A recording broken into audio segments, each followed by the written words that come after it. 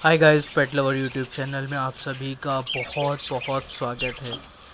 Guys आज हम बात करने वाले हैं ब्रीडिंग को लेकर के।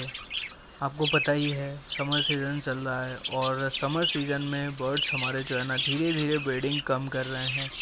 अभी बहुत सारे चैनल के ऊपर कमेंट्स आए हैं और वो ये आए हैं कि भाई दो महीने हुए हमें बर्ड्स लाए हुए या एक महीना हुआ हमें बर्ड्स रखे हुए।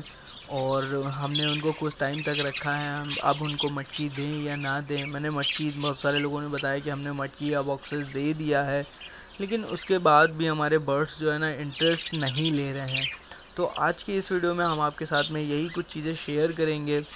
आई होप कि आप सबकी हेल्प हो और आपको समझ में आए कि अगर आप ब्रीडिंग लेना चाहते हो तो आपको क्या करना है। बहुत इंपॉर्टेंट वीडियो है वीडियो को शुरू से लेकर लास्ट तक ज़रूर देखना। आपके बहुत ज़्यादा काम आएगी। तो चलिए अपनी वीडियो को स्टार्ट करते हैं और वीडियो शुरू करने से पहले आपसे रिक्वेस्ट करना चाहेंगे गाइज़ वीडियो के नीचे कमेंट्स है, हमें सलमानी के नाम से एक चैनल है, उसको ज़रूर सब्सक्राइब कर लें, वो मेरा सेकंड चैनल है। आप सब के जो है ना, उस पर प्यार और सपोर्ट की ज़रूरत है गाइस ज़रूर से उसको जो है ना सपोर्ट करें। एंड चलिए वीडियो स्टार्ट करते हैं। तो गाइज़ जब हम जो है ना अपने घर में एक्जॉटिक बर्ड्स मतलब बजीज पैरट्स ला करके रखते हैं तो हम चाहते हैं कि ये जल्दी से ब्रीड करने लगे हैं। बहुत सारे लोग जो है ना देख लेते हैं नेट के ऊपर कि अडल्ट कौन सा है, नहीं है। तो वो जो है ना अडल्ट लेकर के आते हैं। बहुत सारे लोग पट्ठे ही ले आते हैं और वो जो है ना क्या करते हैं कि उनको बॉक्सेस दे देते हैं, मटकी दे देते हैं। पट्ठों की आदत होती है कि जो है ना बर्ड्स के पास में रहना, चोच से चोच मिलाना तो उनको लगता है कि ये जो है ना अब अंडे देंगे या जो है ना ये मीटिंग करेंगे। तो गाइज़ ब्रीडिंग लेने से पहले आप इनकी बेसिक चीज़ों को समझ लें कि ये कितने टाइम में अडल्ट होते हैं, कैसे अडल्ट की पहचान करते हैं। ये सारी चीज़ें आप सीख करके उसके बाद ही जो है ना ब्रीडिंग की तरफ़ ध्यान दें। जिन लोगों को ये पता है और वो चाहते हैं कि जो है ना ये इस टाइम ब्रीड क्यों नहीं कर रहे हैं। तो गाइज़ ब्रीडिंग का रीज़न ये है कि धीरे धीरे बर्ड्स की ब्रीडिंग कम हो रही है अब क्यों? क्योंकि जैसे जैसे गर्मी बढ़ती रहेगी वैसे वैसे इनकी जो है ना ब्रीडिंग कम होती जाएगी और एक टाइम आएगा कि ये जो है ना बॉक्स के अंदर नहीं जाएँगे, मटकी के अंदर नहीं जाएँगे।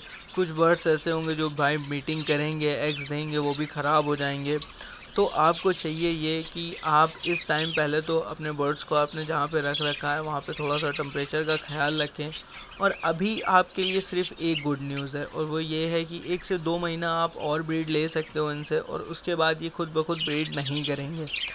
अगर ब्रीड चाहिए आपको, आप चाहते हो कि ये ब्रीड करें तो सबसे पहले आप इनके लिए टम्परेचर मेंटेन करो।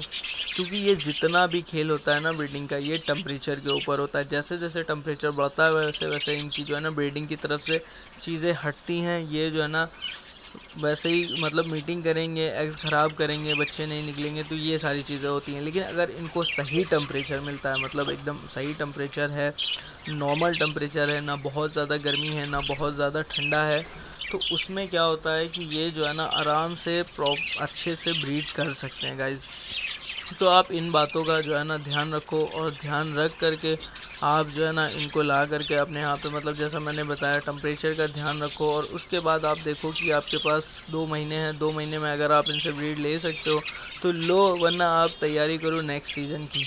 नेक्स्ट सीज़न अभी लंबा है टाइम है उसमें, लेकिन ये है कि आपके बर्ड्स जो है ना तब तक कि अच्छे से तैयार हो जाएँगे और नेक्स्ट सीज़न में आपको बहुत ज़्यादा समझना नहीं पड़ेगा और ख़ुद ब खुद ये जो है ना ब्रीड कर देंगे।